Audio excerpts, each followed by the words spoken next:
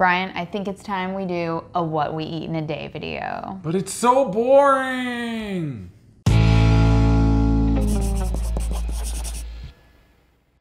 Welcome to Krocks in the Kitchen. I'm Jessica. And I am Brian.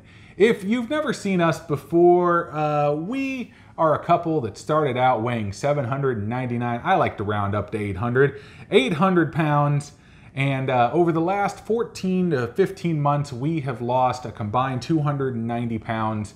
And uh, that leads us to the topic of today's video, though, because we have been asked by numerous people, at least 20, if if not maybe 50. Maybe 50. Uh, people have asked us what we eat in a typical day for yes. our weight loss. And it's uh, yeah, that's that's what we're doing today. Yeah. So if you didn't know, our weight loss journey has been based on following a whole food plant-based diet. And you can click on the links in the description below for a lot more information about that. But the day that we decided to film for you is a very typical day on our weight loss journey and what we continue to eat because we're still losing weight as well. Um, but it's a very typical day. And so we decided to film this for you guys just to just show you, you know, what it actually looks like. And like Brian said, it's not super exciting, but here it is. Also, to all of you that commented asking us to do a what we eat in a day video, this one goes out to you. So let's kick this off with breakfast. I'm making some banana butter to go on toast, which is one banana, some flaxseed, ground cinnamon, some nutmeg, and some allspice.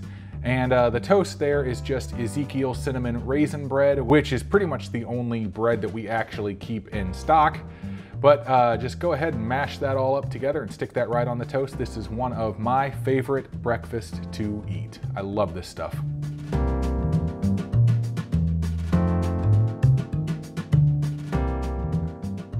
All right, so for our lunches, we like to use our little lunch boxes and pack up all our goodies.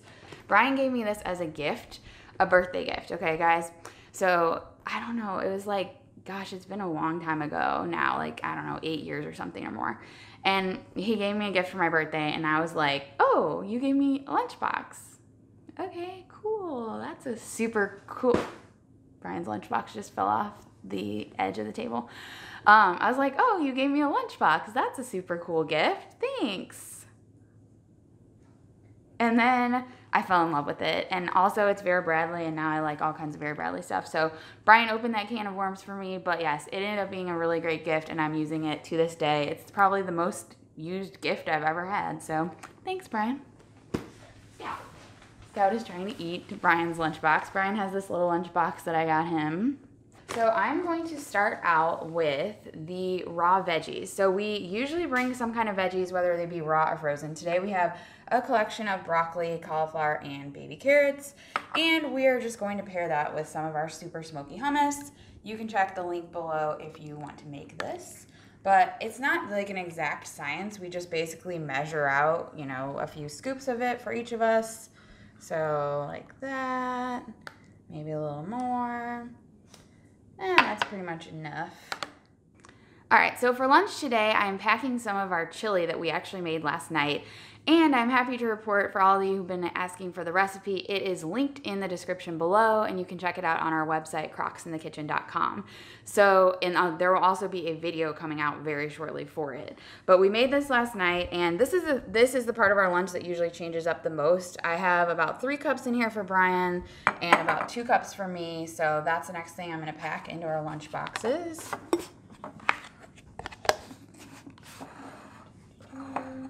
All right, so the last part is going to be fruit. So we usually have a combination of some frozen and some fresh. So I actually, this fruit will be for my breakfast. So I start out with, both of us, we, we start out with blueberries.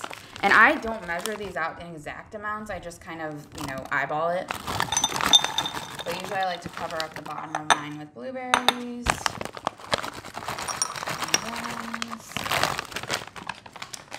And then Brian likes cherries. I'm not huge on the cherries, so I usually don't add any to mine, but I usually add a few, just a few to Brian's. That'd be good. And then raspberries. Brian doesn't like raspberries, so I use the raspberries. I think I'm just gonna take the rest of these. And sometimes I buy fresh, but I find it easier just to keep the frozen on hand throughout the year, but it just depends on what's in season. Um, the next thing we both get is some pineapple. I'm just gonna grab a few pieces of that. I like to pack the non-staining, like the, the fruit that doesn't stain on the bottom so that my lids don't get stained. And then mango. This is something that I've been really liking lately, especially when you get those really ripe pieces. So I'm just gonna pack, oops. I'm just gonna pack that to the brim. For Brian, it's like Tetris for Brian's little container to fit in the maximum amount of fruit. So yeah, there you go. And then for me, just sort of fill it up most of the way. But yeah, these will be our fruit for Brian uses his as just part of his lunch, and mine is going to actually be my breakfast.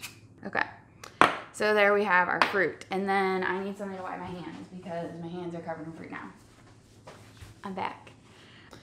So yeah, that is all of the food that we will take to work with us. So we each have our bag and that's basically it. So as I said, my frozen fruit is my breakfast usually. So I just let that thaw out for a bit on my desk. And then I added a sliced banana and a little bit of nut butter to the top. Now let's move on to my lunch. Of course, I've got my fresh fruit, my veggies and hummus, and my frozen fruit, and of course, the delicious chili. I love this stuff and I'm gonna eat this real quick. So that was very good, very filling, and I am ready to continue on with the rest of my day.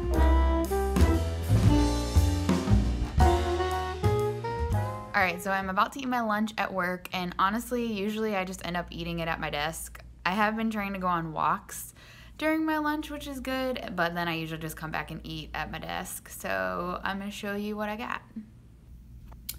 All right, so I got my chili heated up. This looks really tasty. Mm. And then I've got my veggies and my hummus and my apple, which I always like to chop up with my little apple chopper. So yeah, I'm just gonna eat all of this and yeah. Let's take a little tour of my office while we're here. So I've got my posters.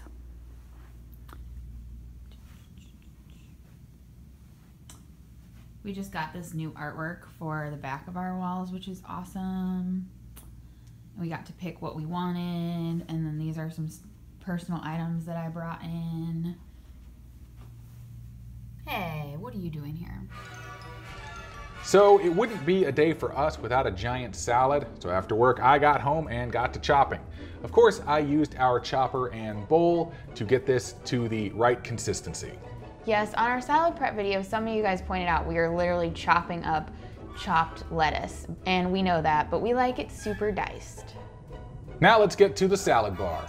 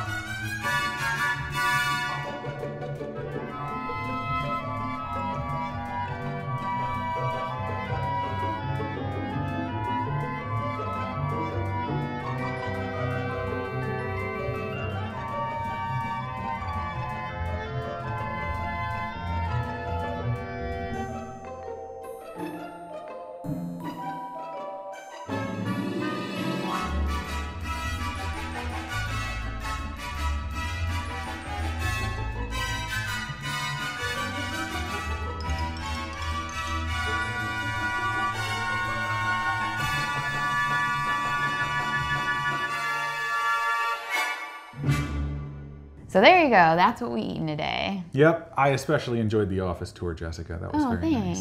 nice. Uh, but what is not typical, or at least not typical until just recently, Jessica ended up buying some popsicle molds, and uh, now she has made these lovely popsicles Yay. for dessert. So we usually eat some kind of fruit for dessert, maybe some ice cream, something like that. But I recently watched a video from Brittany Jaroudi, who has the Jaroudi family. Her, Yep. Is her YouTube channel. Check her out. She makes awesome whole food plant based, all whole food plant based stuff. It's yeah, she awesome. she is great. She is one of the YouTubers that we watch uh, whenever she posts a video, and uh, we honestly just love her content. Yes, and she made these raspberry peach popsicles, and I was like super excited to try them Yes, out. Yes, you have So, no idea. She I messaged me. She was like, "Oh my god, I've got to make these." so I made them last night. I made Brian's extra peachy because Yep. he likes peach. I don't really care for raspberries all that And. I love the raspberry. So this will be our dessert. This is the final thing we're gonna eat today. Mm.